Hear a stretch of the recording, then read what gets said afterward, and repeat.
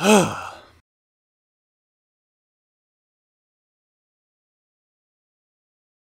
From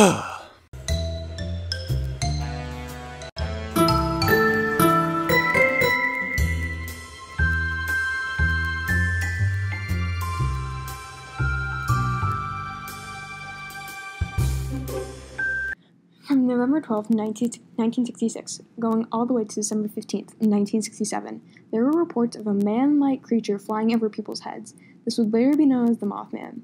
The first report came from five men digging a grave at a cemetery.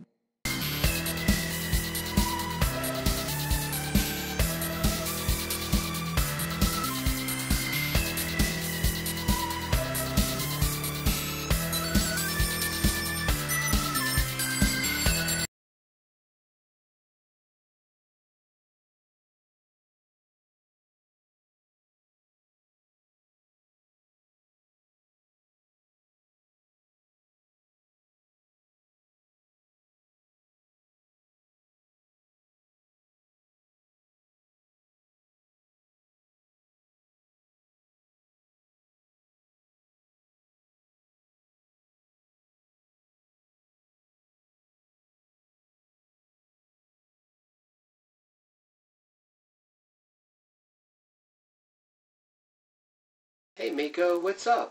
I'm missing my sister. Can you help find her? Yes,